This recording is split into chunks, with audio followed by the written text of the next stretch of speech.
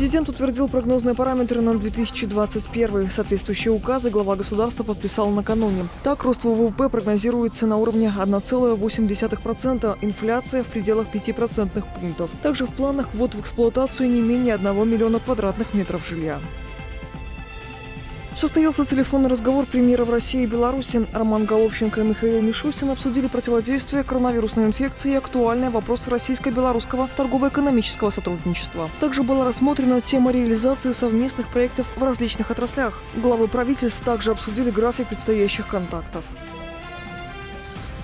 Белпочта начала досрочную выплату пенсий за 25 декабря. Пособие уже получают в Минской, Витебской, Гомельской и Гродненской, Брестской областях. С 24 числа досрочные выплаты начнутся в Могилевской области. 25 декабря будут работать только дежурные отделения почты.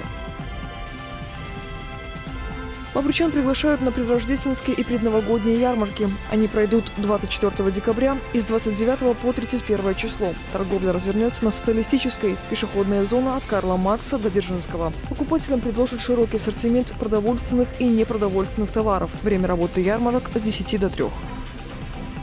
Госавтоинспекция информирует, что с 23 декабря с 18 часов будет перекрыта площадь Ленина. Это связано с проведением новогодних и рождественских мероприятий. Сотрудники ГАИ призывают заранее планировать свой маршрут.